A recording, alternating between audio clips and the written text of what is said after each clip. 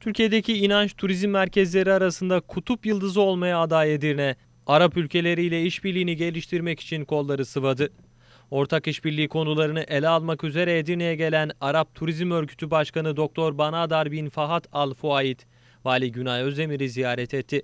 Arap Turizm Örgütü Başkanı Al Fuaid'i burada belediye başkanı, Edirne Ticaret ve Sanayi Odası Başkanı, Büyükelçi Murat Ahmet Yörük ve il protokol üyeleri karşıladı.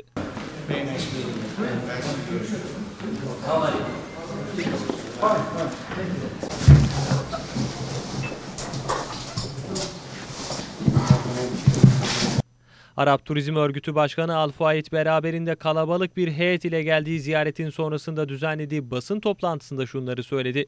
Ülkeler arasındaki turizmin ivme kazanarak artmasını istiyoruz.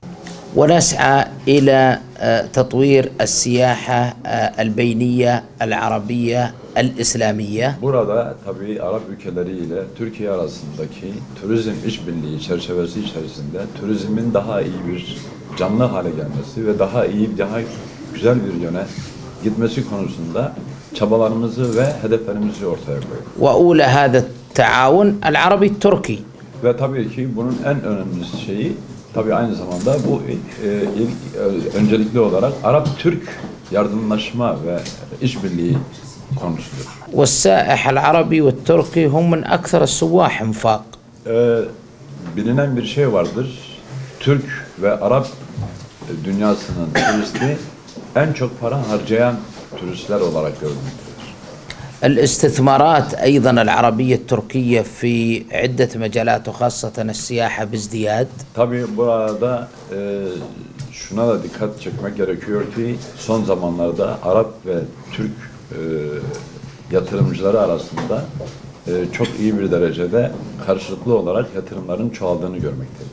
وباذن الله مدينه ادرنا Ve Edirne vilayetimiz اولا شيء متميزه birincisi çok özellikli bir şehir olması hasebiyle لديها بنيه تحتيه bir altyapı sahip, bir altyapıya da sahip olması hasebiyle تجعل ادرنا من المدن آه، Bu المتميزه özellikler- سياحيا işte e, Edirne'nin aynı zamanda bir turizm şehri olmasını e, çok güzel bir şekilde rahatlatabilmektedir.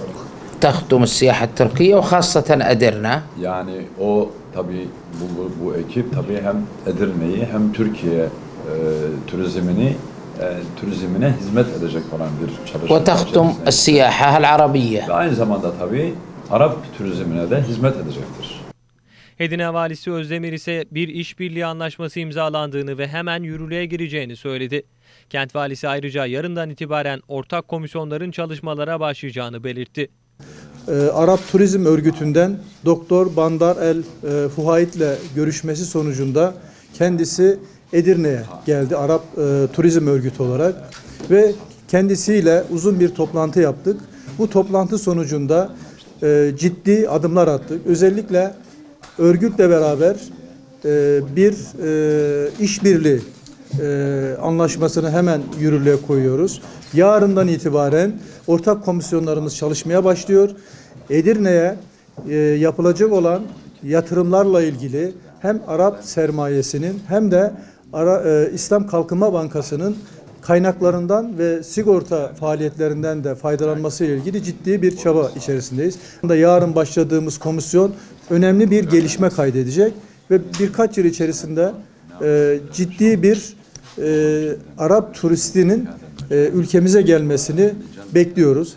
Yapılan konuşmaların ardından Vali Günay Özdemir ile Arap Turizm Örgütü Başkanı Al Fayed uzun süre sohbet etti.